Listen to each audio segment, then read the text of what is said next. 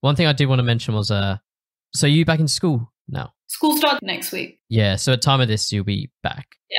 How are you with that? Because I know, like every other day, I feel like I'm seeing articles about, oh, they're they're only going to be students are only going to be in half the time, or they're going to be in full time, and okay, no, they're going to postpone it, and It's is it all kind of a bit up in the air at the moment? or- yeah. from March, everything's been up in the air. Everything like things can change in a week.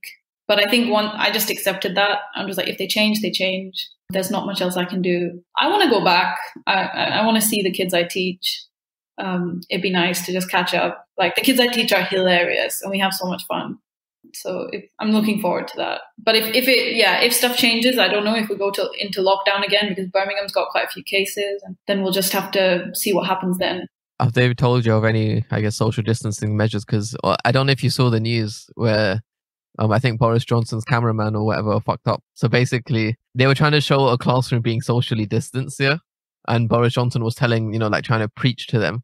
And then the camera pans and you see everyone stuffed into the corner of the room. Yeah, I'm like, you're a fucking mug. You don't know. But that, that, that that's the truth of these politicians that was exposed. I was just, I was just like, was it live?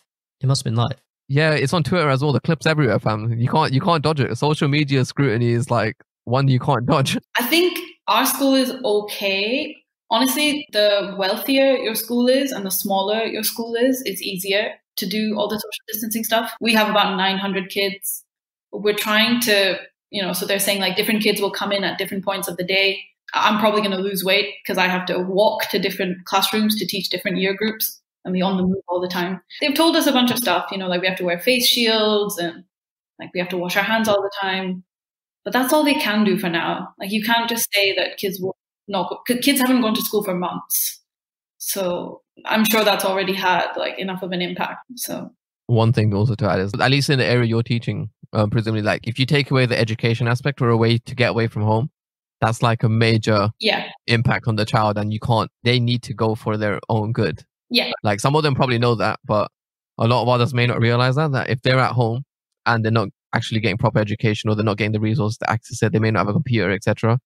Like that's a big impact. So like they at the end of the day, they're going to need that education in those cases more than the people who can actually have, you know, the resources to connect virtually, which is a big thing. So you can't, I guess, deprive the child of the education. Like schools should always start. I feel like they should close the pubs down and all of that shit and just let the schools continue. But obviously, we'll see if the government decide to follow WHO guidelines. because I feel like closing the pub means that. Are know, you like including people- restaurants in that? if they have to close restaurants so that kids go back to school, that's fine. Okay. Like just go back to takeaway or whatever. Like I feel like that's a way better trade off than stopping a kid from getting education just for your social needs. That's just my opinion on that. I don't know. I, I'm happy to hear other um, voices on that, but I feel like Yeah. in our cases, we've already got our education. Do you know what I mean? The main like part, the degree and all of that. And we can do social, like we have the resources to do it virtually. We don't have to meet up, you know, for example, go pub, etc.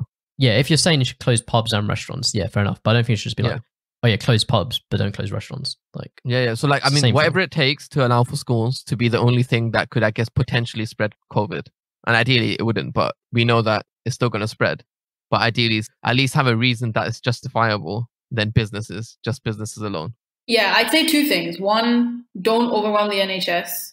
As somebody who knows a lot of doctors, they are they work like mad.